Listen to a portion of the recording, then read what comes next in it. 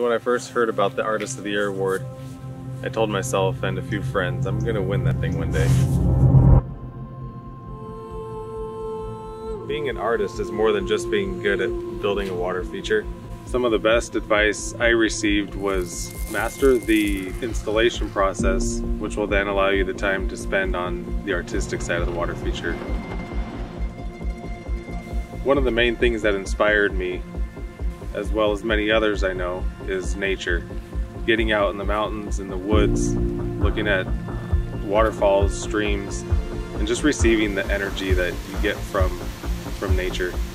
But not only looking at the waterfalls just as a waterfall, but why why is the water falling that way? Why what makes the water converge, hit a rock a certain way, make a sound certain sound?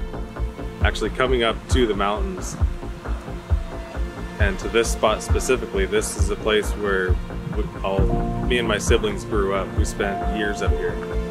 There's so many waterfalls and streams and brooks and so much to there's so much to take in the mountains for me is the best place I've found to get the energy and inspiration that I then take to people's backyards. I always thought that if one day that I won the Artist of the Year award, it would be cool to display the award in a unique way that hadn't been done before.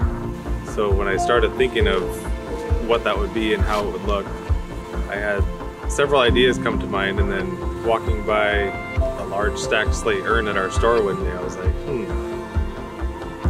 I could use this thing. So I texted a picture to my dad and outlined on the urn what I was thinking.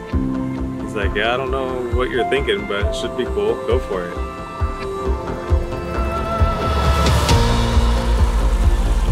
The whole display kind of evolved, which is how waterfalls and water features work for me. You have to go with the flow. You have to follow the rocks. If you if you try to stick to a plan try to stick with an idea that's in your head it usually doesn't work. You have to be fluid do what the rocks basically do what the rocks tell you